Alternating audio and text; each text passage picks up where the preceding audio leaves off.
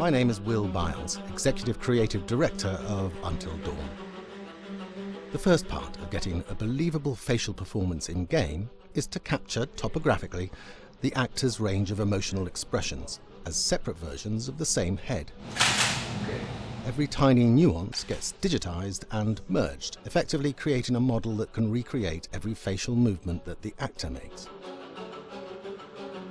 Once the topography has been recorded, the actor's performance itself can be captured by using a predetermined set of marker points drawn precisely on the face and a high-def helmet cam, wirelessly linked to capture devices. The camera is the small box where it looks like the microphone should be. Outro Sam.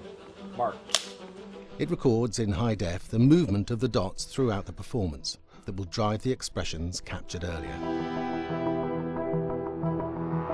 Unlike other systems, this form of capture is far less lossy because there are fewer interpretations between performance captured and performance rendered finally in game.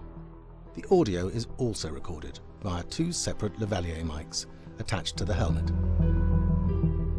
It takes a while for the actors to acclimatise to carrying around the recording devices and the helmet cams, but very soon the shoot becomes similar to any other effects shoot or a green screen shoot. The actors in these scenes are only recording facial animation, but use cursory body movements for pacing.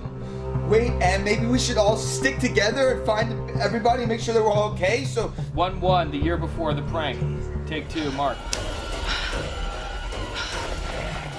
Other than the other actors, they have to use their imagination for everything and everywhere that they are supposed to be seeing and feeling. Idiot. From a hot midday studio in Los Angeles to a freezing midnight mountain in British Columbia.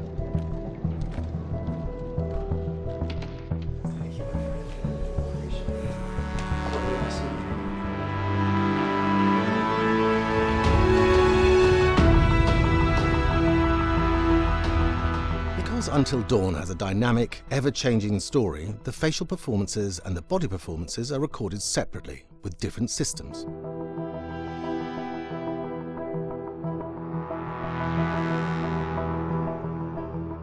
With the body capture, we use reflective bead suits and an infrared camera matrix system that drives the CG bone hierarchies in our character models. These performances cover everything from character locomotion, scene-specific performances and stunt work, most of which was recorded at studios in Pinewood and Shepperton, near London. Anna. Combining all the elements seamlessly in the final game becomes a formidable editing and logistical task. Every variation, both physical and emotional, must be combined in these multi-edits. Scaffolding props have to stand in for the sets because the hundreds of infrared cameras have to be able to see all of the reflected beads on the actor.